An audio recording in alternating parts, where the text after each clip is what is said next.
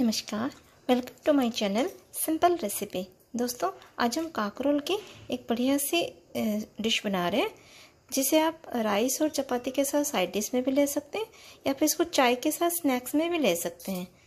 बहुत ही सिंपल है बनाना तो चलिए स्टार्ट कर। तो हम काकरोल को ऐसे पानी में थोड़ी देर भिगो के रख लेंगे। तो देखिए, मैंने इसको मार्केट से ला के इसको पानी में भिगो के रख दिया था। इसमें बहुत कीचड़ वगैरह होते हैं तो मैंने इसको अच्छे से भिगो के रख लिया था। फिर इसको ना इसे ब्रश में ऐसे ऐसे करके साफ़ कर लेना है चारों तरफ़ से, ताकि कोई कीचड़ वगैरह ना रह जाए। दोस्तों, साफ़ करने के बाद इस तरह से इसको ये निकाल लेना है, इसकी जो डंठल है, और इसको हाफ़ में हाफ़ में या फिर लेंथ वाइज या फिर ब्रेथ वाइज आप इसको कट कर लाना है। बहुत ही टेंडर है ये।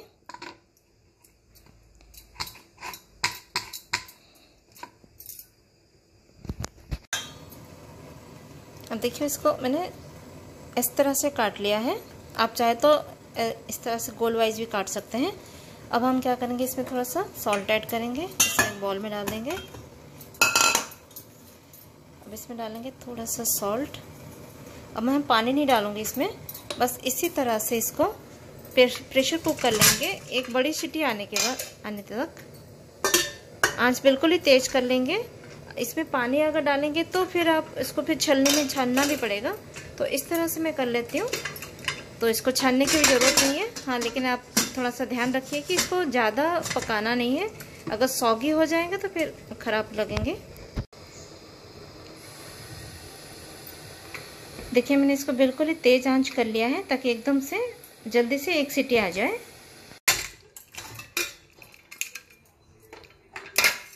देखिए, एक सीटी तक मैंने पका लिया था इसको।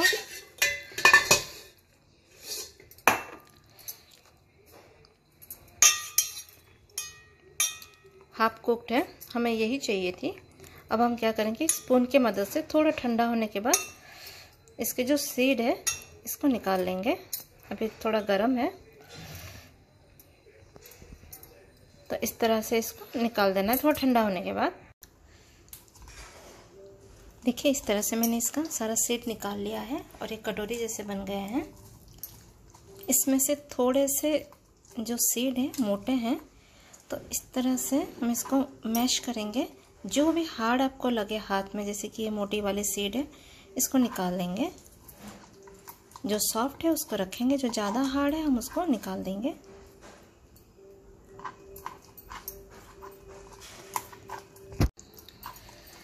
तो देखिए, जो मोटे मोटे सीट थे, वो मैंने निकाल लिए हैं। इसमें ज़्यादा मोटे थे नहीं, बहुत ज़्यादा टेंडर थे ये। बहुत नरम वाले काकरोल मिल गए थे इस बार। तो बाकी जो बचे हैं सीट को, इसको हम थोड़ा सा मिक्सी जार में डाल के दर अब उसको पीस लेना है।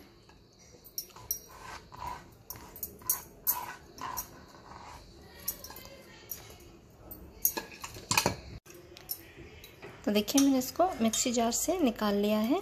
एकदम दरदरी है ये। फाइन करने से उसको खाने में अच्छा नहीं लगता है। तो अब हम इसको थोड़ा सा और कुछ मसाले ऐड करेंगे। इसमें फ़र्स्ट ऐड कर रही हूँ थोड़ी सी हरी मिर्च।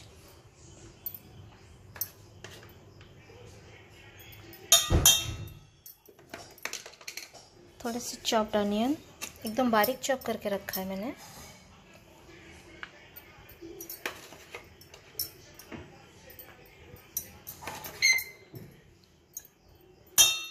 चाहे तो थोड़ा सा टमाटर भी डाल सकते हैं, ये तो ऑप्शनल है। नहीं तो आमचूर पाउडर भी डाल सकते हैं इसमें।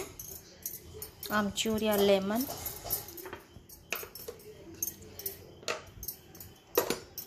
तो मैं यहाँ पर लेमन डाल रही हूँ।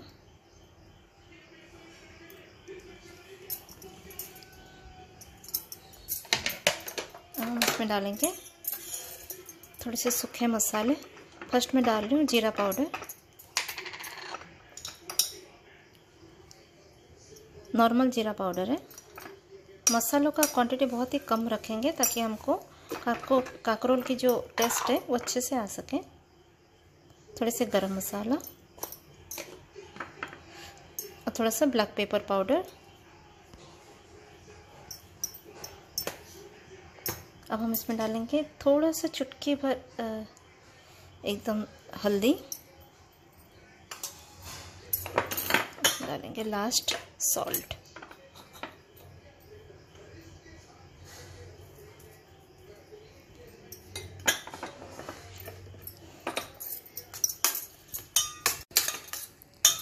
दोस्तों, जब तक इसको मिक्स कर रही हूँ, तब तक मैं गैस ऑन कर दिया है कढ़ाई में। थोड़ा सा तेल गरम करने के लिए रख दिया था, क्योंकि अभी इसमें पानी छोड़ना शुरू कर देगा। जब, जैसे ही हम इसको नमक डाल दिया ना तो हम मैदा डालेंगे इसमें अभी। तो फटाफट हम इसको फ्राई करना है। फटाफट मिक्स करना है और इसके बाद हमको मैदा डालना है। और मैदा डाल के हम रख लेंगे थोड़ी देर तो ये पानी छोड़ना शुरू हो जाएगा। तो वो ठीक नहीं हो, बन पाएगी फिर। देखिए, पानी अभी इससे भी छोड़ना शुरू कर दिया है। एकदम गीला हो गया है। थोड़ा सा और डालेंगे।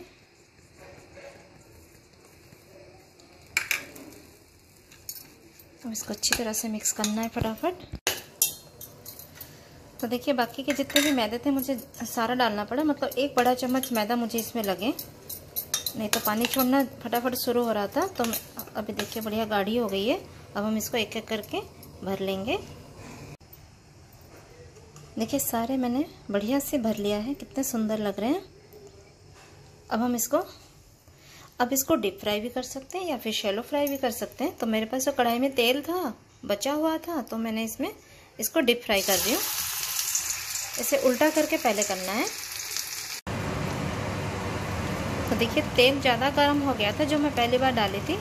तो ये फ़र्स्ट वाला थोड़ा ज़्यादा बॉयल गर्म हो गया है फ्राई हो गया तो मैं इसको फ़र्स्ट उल्टा कर देती हूँ। अभी इनको थोड़ा टाइम है तो अभी इनको पकने देते हैं।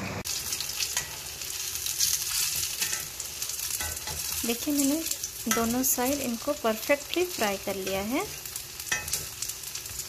जैसे कि मैंने कहा था, आप इसको सेलो फ्राई भी कर सकते हैं। सेलो फ्राई करने से जो काकरों का जो ग्रेनिसनेस है, वो थोड़ा बहुत दिख जाती है। तो मेरा बिल्कुल ही तल लिया है मैंने। तो ये निकाल लेना है अभी इसको।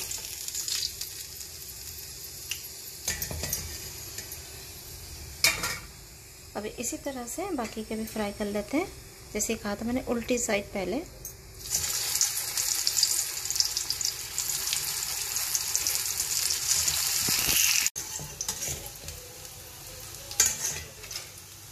देखिए, बाकी के भी मैंने बढ़िया से गोल्डन ब्राउन तक फ्राई कर लिया है। ये बढ़िया कलर आई है। अब हम इनको निकाल देते हैं।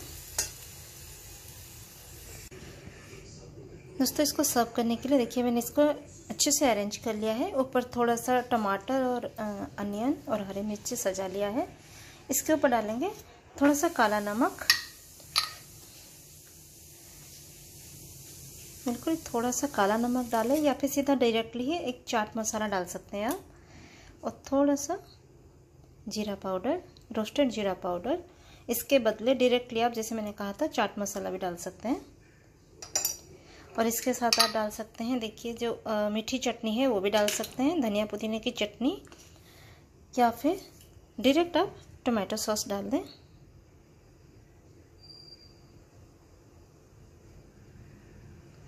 इस तरह से देखिए कितना सुंदर लग रहा है। दोस्तों, ये रेडी है हमारा काकरोल के स्नैक्स। आई होप आपको ये पसंद आएँगे। दोस्तों, पसंद आए तो मेरे चैनल को लाइक, शेयर, सब्सक्राइब, शेयर कर लें। Thank you.